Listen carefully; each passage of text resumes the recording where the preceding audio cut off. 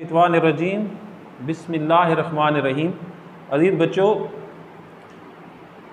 जैसे कि हमारा ग्रेड नाइन का चैप्टर नंबर टू शुरू है periodic table and periodicity of properties आज हमारा टॉपिक है modern periodic table modern periodic table जो है, ये जो है वो मेनली पीरियडिक टेबल का की जो मेनली पीरियडिक टेबल था, उसकी जो जो बेस थी, वो एटॉमिक मास की बुनियाद पे उसको तरतीब दिया गया।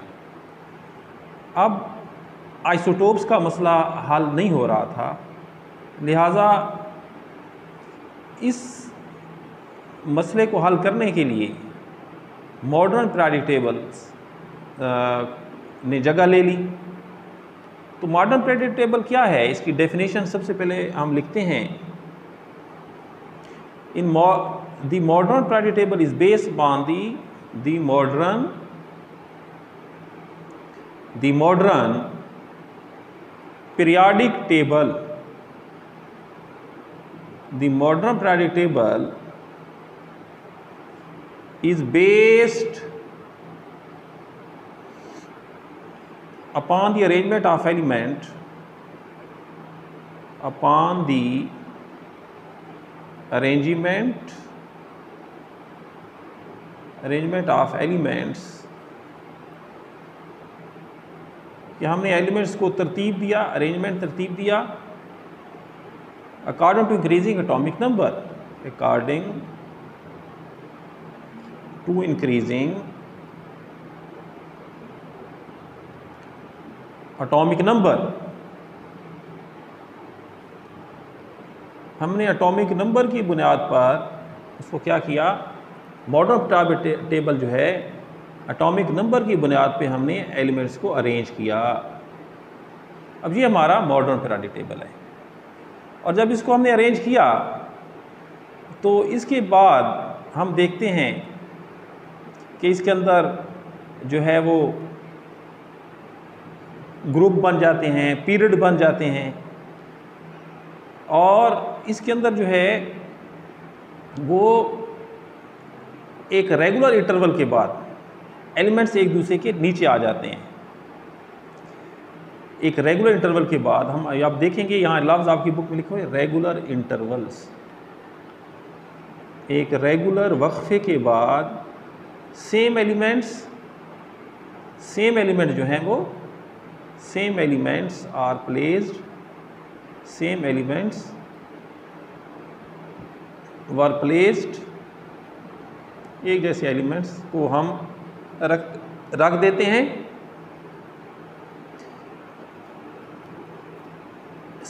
Regular interval same elements were placed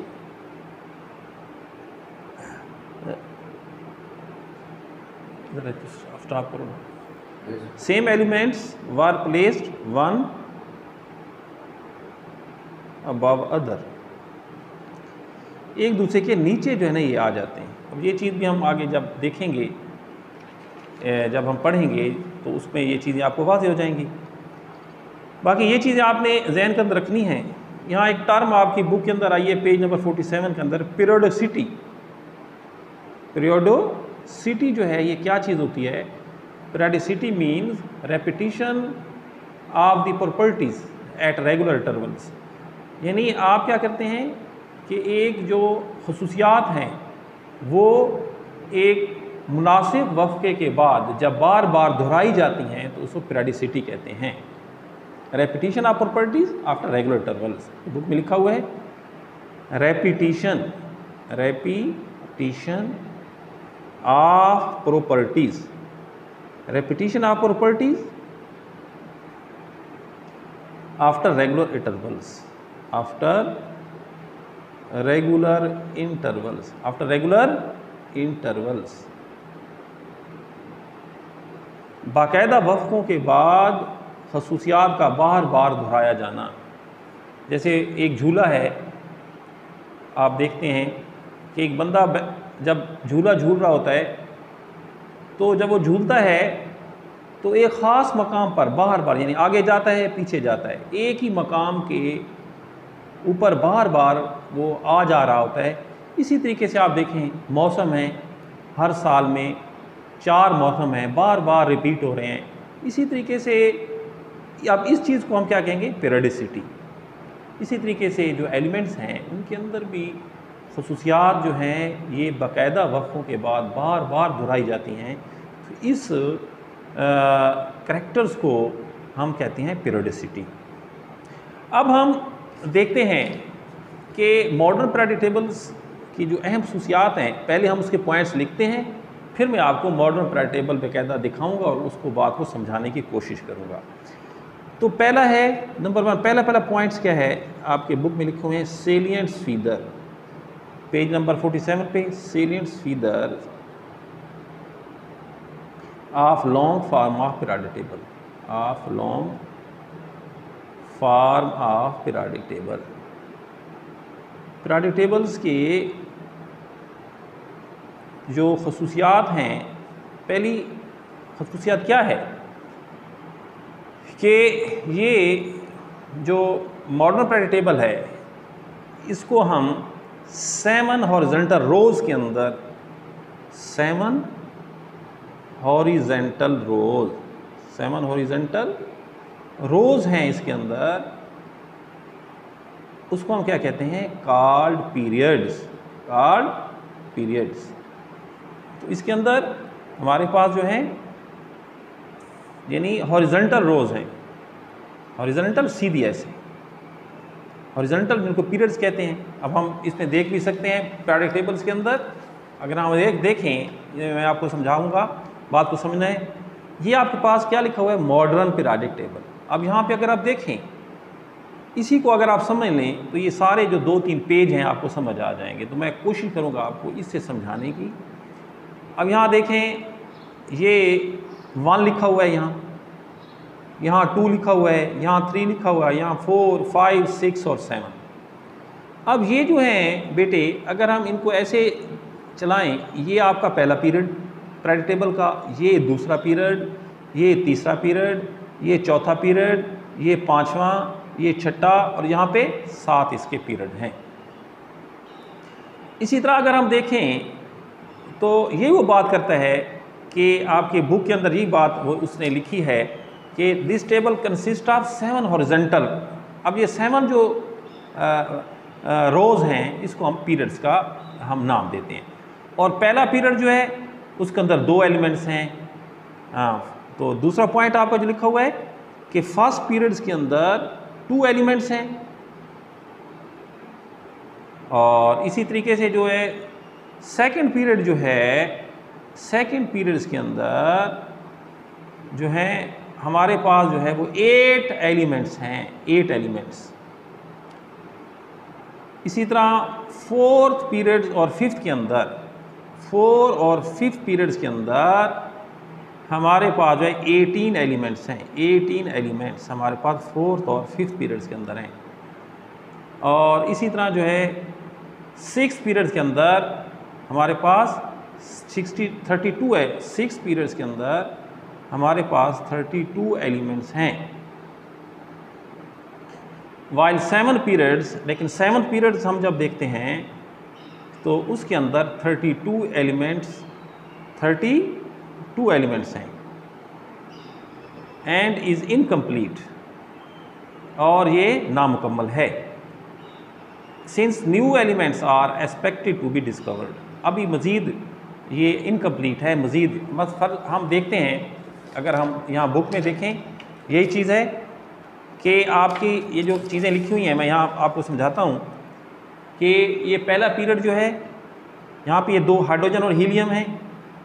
और दूसरे के अंदर जो है यहाँ अगर एल आई से मतलब लिथियम अब गिने one two three four five six seven eight हैं। हैं जी? और फोर्थ और फिफ्थ पीरियड में अगर यहाँ गिनेंगे तो एटीन और एटीन होंगे। और सिक्स पीरियड जो है, यहाँ देखिए आप फिफ्टी सिक्स के बाद यहाँ स्टार सा लगा हुआ है। और ये फिफ्टी सिक्स ये नीचे फिफ्टी सेवन यहाँ नीचे आ जाता है। ये यहाँ वो कहता है कि ये यहाँ पर सिक्स और सेवन्थ जो हैं उसके अंदर थर्टी टू थर्टी टू यानी fifty six fifty seven seventy one और यहाँ सेवेंटी टू यहाँ से शुरू होगा। तो ये यहाँ पे thirty two thirty two elements हैं।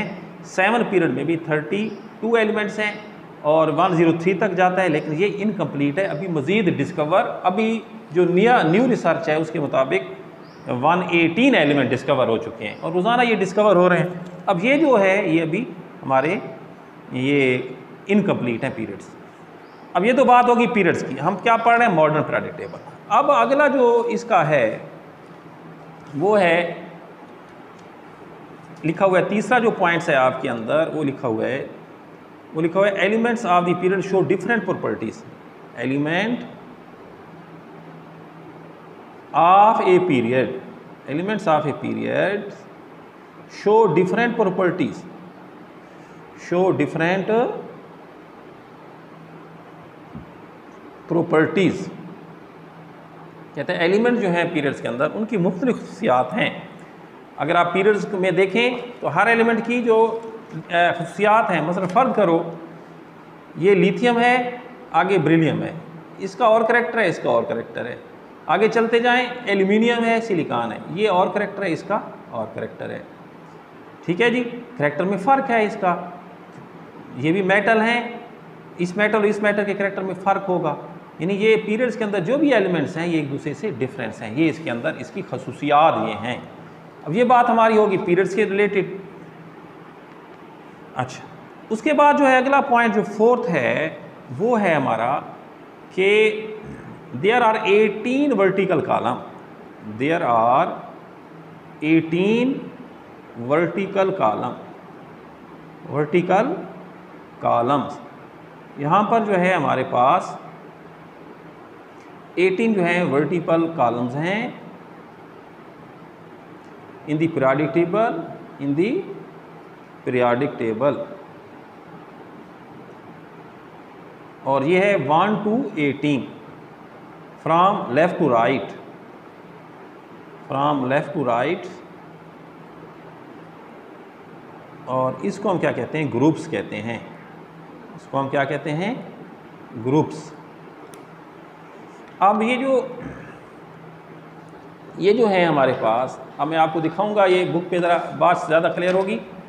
यहाँ पे अगर आप देखें तो ये आपके पास जो है, ये जो है, ये 18 वन टू ये थ्री फोर ये देखें 18 वर्टिकल कॉलम जो है कॉलम ऐसे कॉलम इनको हम ग्रुप्स का नाम देते हैं।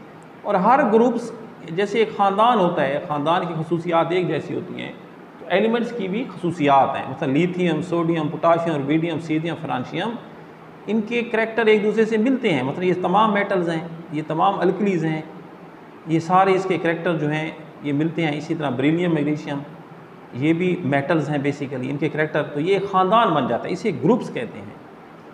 तो ये हमारे पास जो है, हमारे पास इस तरीके से इसके अंदर 18 जो है, उसने उसको ग्रुप्स के अंदर तकसीम किया गया है। और फिर इसके बाद जो है आपकी बुक वाले ने जो एक और बात बताई है कि हम प्राडिक टेबल्स को इसके हम ब्लॉक्स बना देते हैं, महल्ले बना देते हैं। मतलब यहाँ देखें हम, अगर यहाँ देखें, यहाँ आपकी बुक के पेज नंबर 49 पे लिखो एस ब्लॉक और फिर डी ब्लॉक फिर बी ब्लॉक फिर एफ़ ब्लॉक अब ये जो है एस ब्लॉक से मुराद ये है कि जब हम इन एलिमेंट्स की इलेक्ट्रॉनिक कन्फिग्रेशन करते हैं तो ये इनकी इलेक्ट्रॉनिक कन्फिग्रेशन एस पर स्टॉप होगी।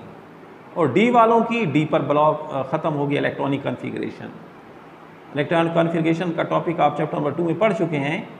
और इसी तरह पी की ब्लॉक के अंदर इसके इलेक्ट्रॉनिक कॉन्फ़िगरेशन पी पर स्टॉप होगी। इस तरह एफ़ ब्लॉक की जब इलेक्ट्रॉनिक कॉन्फ़िगरेशन करते हैं तो इसकी जो है हम एफ़ ब्लॉक बनाते हैं। इलेक्ट्रॉनिक कन्फिग्रेशन हमारी एफ़ ब्लॉक पर ख़त्म होती है। और याद रखो बच्चों कि ये जो आपके आपके हैं इनको हम कहते हैं कि ये आपके पास ब्लॉक्स बन गए और ये जो आपके पास थ्री से ट्वेल्व ग्रुप है डी ब्लॉक का, इसको ट्रांजिशन एलिमेंट भी कहते हैं। इसको क्या कहते हैं? ट्रांजिशन एलिमेंट्स का नाम भी दिया जाता है। तो ये बात आपके यहाँ पे फीदर्स के अंदर लिखी हुई, ये बात कि 18 vertical columns in the table 1 two 18 from left to right groups element are अच्छा और आखिरी आपका पॉइंट्स जो मैंने समझा तो आपको दिया है elements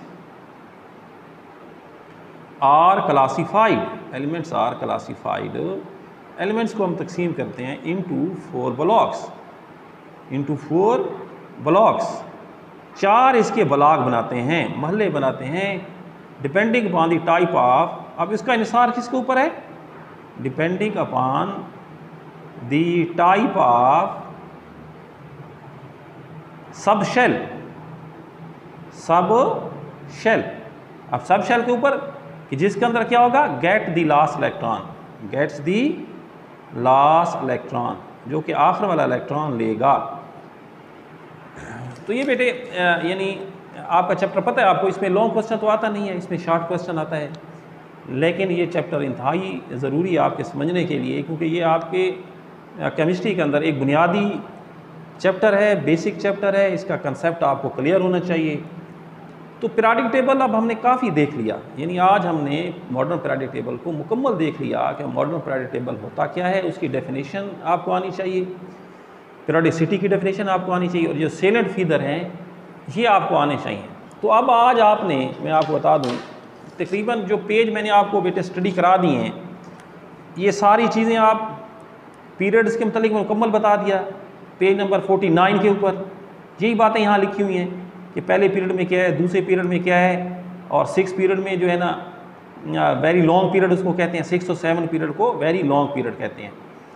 इस तरह जो है पीरियड्स की बात हो गई। फिर ये ग्रुप्स के मतलब भी बात हो, हो गई है। तो ये भी आपको इसी के अंदर समझा दिया गया है तो ये आज हमारी, आज बहुत, यानी हमने चार चार, पाँच पेज हमने देखनी है और यही चीज़ें हैं जो बार बार वो जो है ना, ये आपको, यानी इसी प्रोडक्ट टेबल को देखकर आप बार बार इसको पढ़ेंगे। तो ये चैप्टर जो है तकरीबन आधे से ज़्यादा ख़त्म हो गया है। आसान है, क्योंकि ये चैप्टर में सिर्फ़ डेफिनेशन आनी है लॉन्ग क्वेश्चन तो आना नहीं है। तो इसको साथ साथ याद करते जाएँ। मैं उम्मीद रखता हूँ आप बच्चे इसको पढ़ेंगे, समझने की कोशिश करेंगे। और माह रमज़ान का महीना है, रोज़े भी रख रहे होंगे यकीन दुआ करें, अल्लाह ताला ये जो एक मुसीबत बनी हुई है पूरी इंसानियत के ऊपर, अल्लाह ताला इससे हमारी हिफाजत करे। रोज़ा रख के दुआ करें असम साजा के लिए, अपने स्कूल के लिए। खुदा हाफिज़ बेटे, शुक्रिया।